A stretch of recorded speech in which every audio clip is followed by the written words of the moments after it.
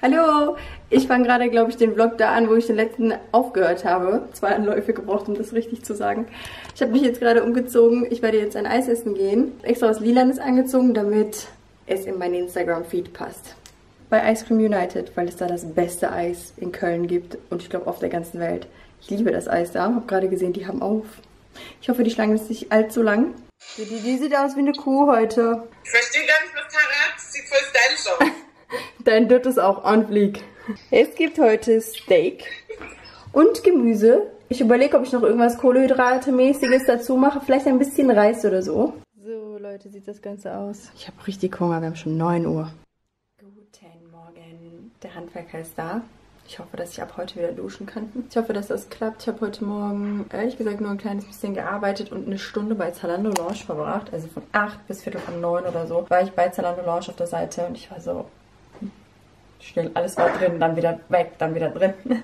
Kennt ihr das? Das ist so eine Seite, also so eine App, wo ihr alles günstiger bekommt. Und ich habe so Gläser, Bettwäsche und sowas gekauft. Und teilweise auch so ein paar Sachen für meinen Verlobten, weil Hilfiger war auch ähm, da gelistet. Und genau, hier sind noch die Sachen, die ich aussortiert habe. Das hier muss ich noch wegräumen. Und wie gesagt, das hier habe ich aussortiert. Ich zeige euch mal kurz, was das denn ist. Dann kann das nämlich gleich in den. Das Puder von Scott Barnes, das war ganz okay, aber ich fand das, also Preis-Leistungs-Verhältnis fand ich jetzt nicht so geil, weil ich finde die Umverpackung halt sehr billow. Dann hatte ich noch so Eyeliner, die waren mal in der Goodie Bag, die fand ich aber nicht so geil. Das sind, ähm, ich glaube, die sind nicht mal leer, aber ich finde die nicht so gut, ehrlich. Dann die kleine Better Than Sex Mascara ist leer. Die Charlotte Tilbury Legendary Eyes ist auch leer. Dann habe ich hier so Eyeliner von NYX. Dann habe ich hier von einen Concealer, der ist mir zu dunkel. Das ist aufgebraucht. Ich habe das heute Morgen aufgebaut. Ich hoffe, ich bekomme den noch. Letztens in der Drogerie gab es den nicht. Also vor Corona war ich das letzte Mal da. Stelle ich mal vor, wie lange das her ist. Das ist auch komplett aufgebraucht. Das ist von The Balm ein einer, ähm, Augenbrauenstift. Ein Eyeliner von Kat Von D, der Tattoo Liner, den ich sehr gut finde. Dann die, die habe ich einfach schon viel zu lange in meiner Schublade. Die Naked Skin Concealer und Corrector. Das hier habe ich, wie gesagt, offen gelassen. Deswegen ist es ausgetrocknet. Die Can't Stop Won't Stop Foundation habe ich auch komplett aufgebraucht. Die Marc Jacobs Foundation ist auch schon super lange in meiner Schublade. Deswegen schmeiße ich die weg, weil ich ein bisschen Angst habe. Die riecht auch jetzt schon ein bisschen komisch.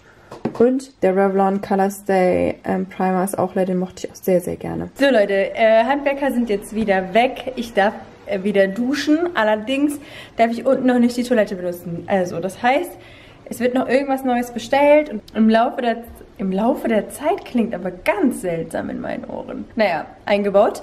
Habe mich einmal kurz umgezogen und werde mich jetzt mit Maya draußen treffen zum Fotos machen. Wir werden uns auf Abstand treffen, keine Sorge, wir halten den Mindestabstand ein. Außerdem muss sie sowieso ganz weit weg von mir wegen, wegen dem Fotos machen. Daher ist, äh, werden wir hinkriegen. Und ja, ich habe einen Schokokuchen gebacken mit flüssigem Kern, Leute. Ich gebe euch das nachher mal. Und dann, ähm, glaube ich, komme ich wieder nach Hause. Ich habe ein richtig cooles T-Shirt-Kleid an von And Other Stories. Das habe ich im letzten Jahr gekauft. Das geht ungefähr bis zu den Knien. Sehr, sehr chillig. Und der Cardigan ist von Zara. Ich werde versuchen, euch einen ähnlichen ähm, herauszufinden und den in der Infobox zu verlinken. Bin ich so außer Atem. Ich werde 29 dieses Jahr, Leute. Meine Kondition macht das nicht mehr mit. Hallo, was geht, Leute? Ich habe heute den ganzen Tag noch nicht gefilmt. Und ich bin schon wieder so gelb. Ich werde auf jeden Fall morgen die Kamera abholen. Die wurde nämlich gestern für fünf Tage reserviert. Dann kann ich sie direkt abholen für den nächsten Vlog. Und ich habe gerade ein IGTV-Video gedreht. So sieht es auch noch aus. Hier liegt auch noch alles auf dem Boden. Und, und hier liegt auch gerade alles noch rum. Ich schaue gerade What If.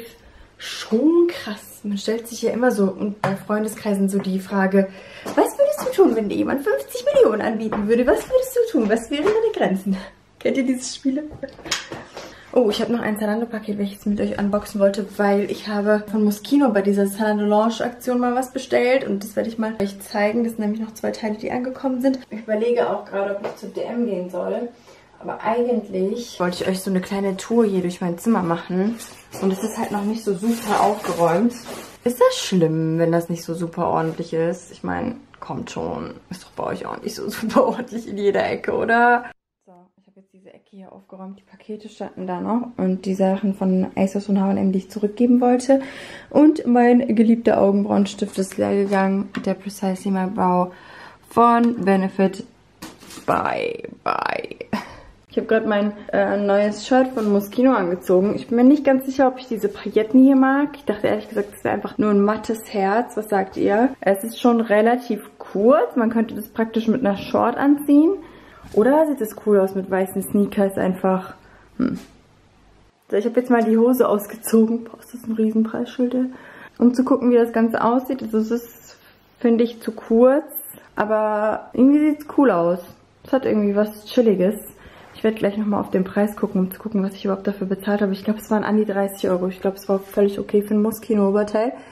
Und ich habe noch eine Strickjacke geholt. Okay, ich habe mich voll verteilt. Ich habe gerade die Preise nachgeguckt. Also für die, für das Oberteil oder dieses Kleid habe ich 75 Euro bezahlt und für die Strickjacke habe ich 100, 120 Euro bezahlt, genau. Ich finde die irgendwie cool. Werde ich das tragen, ist die Frage. Okay, die Strickjacke ist so ein bisschen, ich würde damit, glaube ich, reisen und so oder so chillen. Und jetzt ist halt die Frage, ob das sich rechtfertigt vom Preis. Ich finde, das Kleid geht schon eher, oder, als die Strickjacke. Ich lege das jetzt mal wieder zurück und denk mal nach. Guck mal, Leute, was angekommen ist. Mein Raumduftöl. Ich wollte ja meinen eigenen Raumduft machen. So sehen die aus. Ich wollte auf jeden Fall Jasmin mir anschauen, weil ich liebe Jasmin. Riecht gut. Ich glaube, so ein paar Tropfen. Es riecht aber ein bisschen, obwohl doch, das riecht sehr blumig. Ich dachte erst, es wäre Kaugummig, aber Gardenia. Hm, riecht auch gut. Obwohl, ich glaube, bei Jasmin ist der Deckel abgefallen. Und der Deckel hängt hier oben fest. Das heißt, die ganze Öffnung liegt frei. Cherry Blossom. Erinnert mich an ähm, Riverdale. Oh mein Gott. Oh, boah, riecht das gut. Puh, das riecht richtig gut. Hier ist übrigens alles clean, fresh, wieder richtig schön sauber gemacht. Und Sport habe ich heute übrigens auch gemacht. Ich habe sie wieder draußen gemacht, deswegen habe ich euch nicht mitgenommen. Und ich überlege, ob ich wirklich so eine kleine Tour einfach machen soll durch meine Schränke. Ich glaube, das ist ganz cool. das muss ja nicht so mega pingelig aufgeräumt sein. Das kann ja auch ein bisschen der Realität entsprechen. Hier unten ist noch das Yves Saint Laurent Etui drin. Ich habe ja so ein Portemonnaie, so ein Karten-Etui auf Instagram verlost. Und hier oben habe ich noch eine Powerbank für meine Freundin, weil ihr Akku ist dauernd leer, wenn ich mit ihr telefoniere. Ich glaube, wir machen das jetzt einfach mal so. Ich zeige euch einfach mal eine Messy Room Tour, Leute. Eine Messy Room Tour. Bitte beachtet die Kartons da hinten nicht.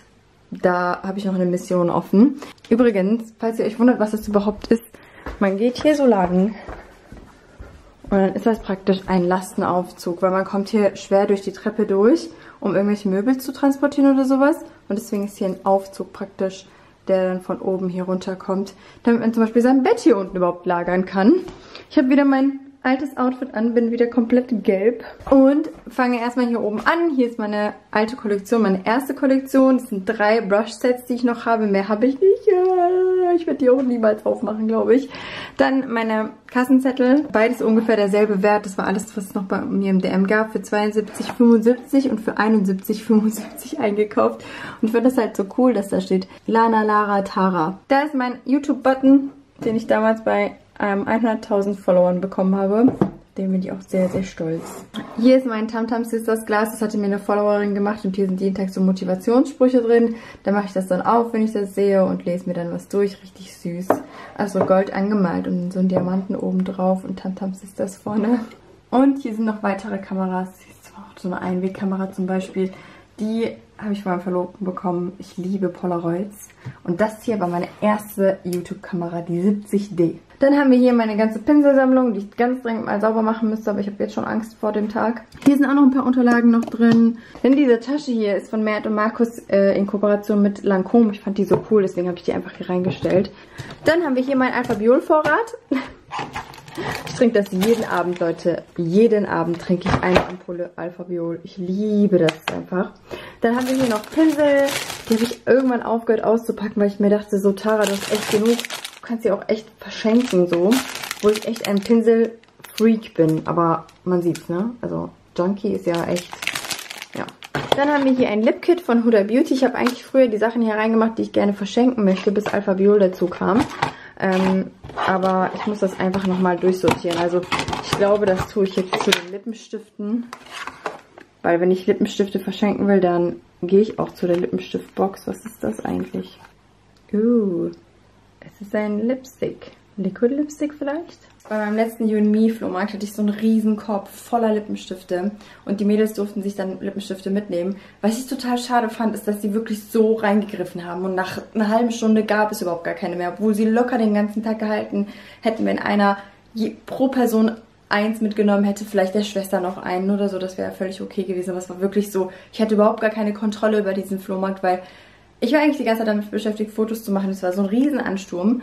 Und die ähm, Ella und die Maya haben dann verkauft, aber die, das war einfach zu krass. Und wir haben uns eigentlich vorgenommen, beim nächsten Mal so eine ordentliche Schlange zu machen, damit auch jeder, oder beziehungsweise so drei oder vier Reihen zu machen, damit jeder in Ruhe shoppen kann und selber die Lippenstifte dann als Geschenk dazu zu geben. Also das werde ich auf jeden Fall machen, weil ich habe zu viel. Und dann haben wir das. Ein bisschen Shampoo. Das sind meine sehr gern benutzten Shampoos eigentlich. Die Gliscor Biotech Restore und die von Pomelo. Die hier. So, kurze Pause. Nämlich außer ein bisschen Burrata habe ich heute nichts gegessen. Hm. Deswegen, ich hatte ja heute Mittag Lasagne gemacht. Die habe ich vorhin in den Ofen geschoben. Und, und hier ist sie mit Salat. Ich habe jetzt gegessen und mich ein paar Minuten auf die Terrasse gesetzt, nämlich eine Freundin kommt, mir was vor die Tür stellen, weil ich brauche ein paar Produkte zum Shooten und die hat nur sie. Ich kann die auch leider nicht bestellen oder so, das geht leider alles gerade nicht. Ihr seht, ich bin heute so ein bisschen träge. Mich nervte heute Corona besonders. Ich hätte sehr gerne wieder Normalität und Alltag und so. Also es ist so ein bisschen nervig und macht einem durch so viele Sachen einfach einen Strich durch die Rechnung. Ich habe auch noch meine Familie Todes vermisst. Ich habe gerade ein Video von meiner Mutter gesehen, gerade nochmal neu angeguckt und gesehen, wie lang ihre Haare geworden sind. Das zeigt, wie lange ich einfach nicht da war. Jetzt 16. Februar war ich das letzte Mal da. Wir haben den 21. April und es geht mir richtig auf die Nerven. Und meine Schwestern vermisse ich, meinen Papa vermisse ich, meinen Bruder vermisse ich. So viele Sachen sind unmöglich, zum Beispiel auch die Kampagne für meine neuen Produkte. Wie soll ich jetzt ein Shooting machen? Ich wollte so ein richtig cooles Shooting machen mit Followern. Ich weiß nicht, ab wann das wieder erlaubt ist und wann ich einen Aufruf, einen offiziellen Aufruf dafür starten kann und so. Ist halt ätzend. Ich habe gedacht, mit diesen Lockerungen, jetzt, dass die Läden so aufmachen und so, würde so ein bisschen mehr Normalität einkehren.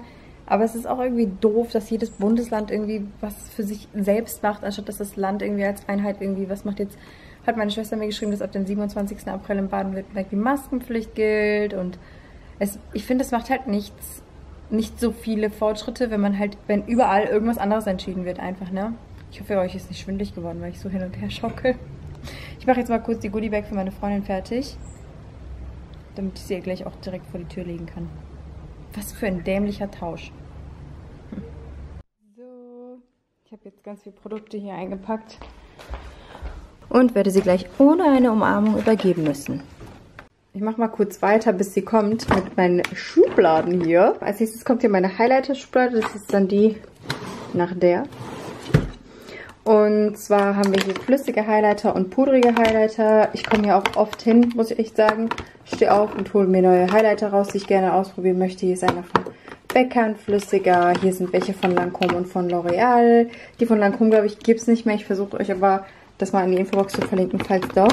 Dann haben wir hier die äh, Max Strobe Creams. Dann haben wir hier zum Beispiel diese Blüte von Lancome. Erinnert ihr euch an die? Die war, glaube ich, überall sofort ausverkauft. Dann sind hier noch Lancome Highlighter Paletten drin. Hier sind noch MAC Highlighter Paletten drin. Äh, da hinten Anastasia Beverly Hills, Smashbox. Das war mal mit einer Influencerin eine Kooperation mit Smashbox. Auch ein sehr schöner Highlighter, den ich auch sehr gerne benutze. Welche Palette auch echt gut ist, ist die von ähm, Charlotte Tilbury. Oh, wow, die haben krasse Produkte immer. Guck mal bitte, wie schön sie ist.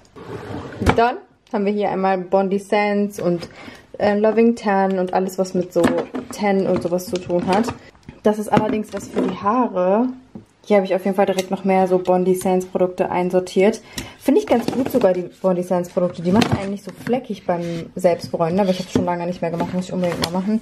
Und hier hatte ich noch eine, so zwei Cremes.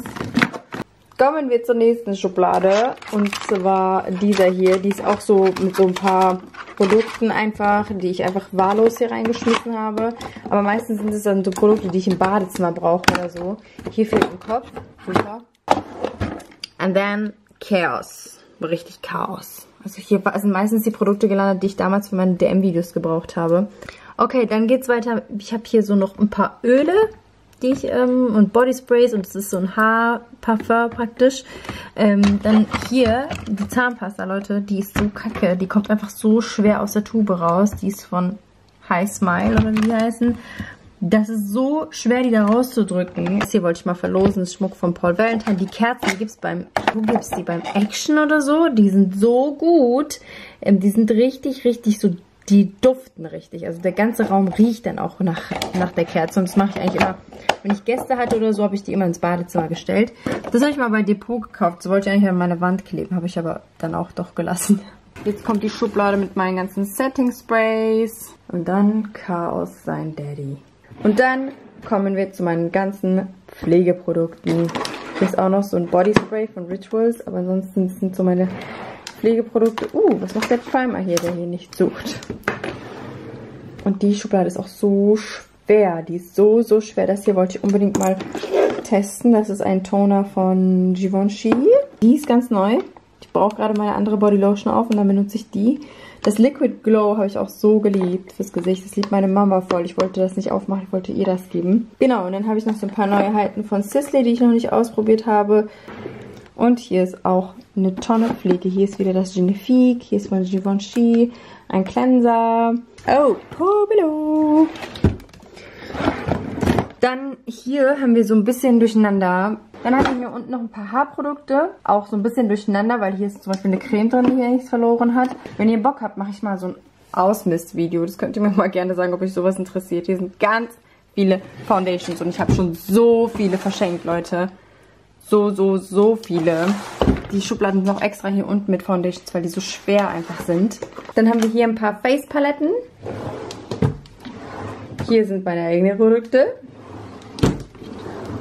Hier sind Blush und ja so Powder. Hier habe ich schon ganz viel aus, weil ich alles, was hier war, so verschenkt habe. Deswegen kann ich das eigentlich hier neu einsortieren und aufräumen ein bisschen. Dann haben wir hier eine Schublade voller Primer. Hier ist zum Beispiel mein Dior Backstage Primer, den ich so gerne mag.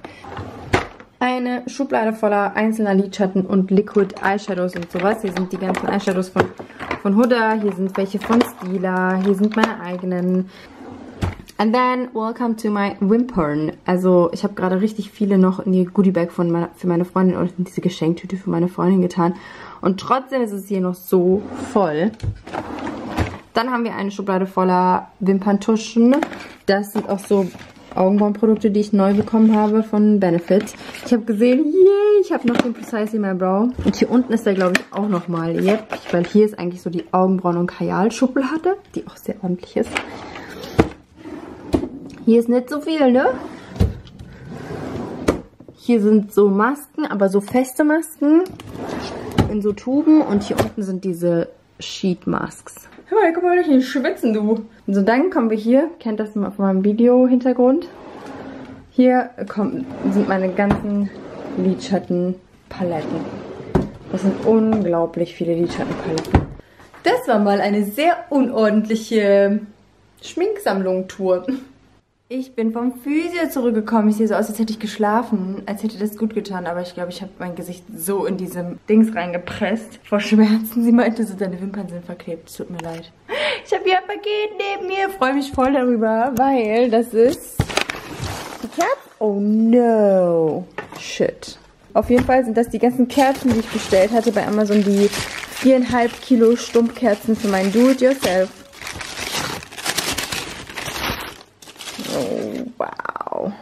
Ganz ehrlich, das ist ein super Preis.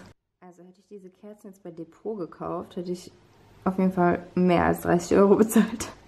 Guck mal bitte diese riesige Kerze an hier. Voll schön. Und das alles auf so einem großen Holztablett oder so einer langen Tafel beklebt mit Blumen. Ich glaube, das wird ein Traum. Das muss ich auf jeden Fall machen. Das wird wunder wunderschön. Wenn ihr meinen Kanal nicht abonniert habt, müsst ihr das jetzt tun, damit ihr das auf jeden Fall seht, weil und ich sehe immer noch 50% meiner, die, die meine Videos gucken, 50% Nicht-Abonnenten. Leute, klickt doch den Abonnier-Button. Das ist ganz cool. Dann sagt ihr euch immer, ah, Tamtam hat ein neues Video hochgeladen. Voll praktisch. ähm, tausend Dank fürs Zusehen, Leute. Wir sehen uns dann am Freitag zu einem ganz neuen Video wieder. Bis dann. Tschüssi.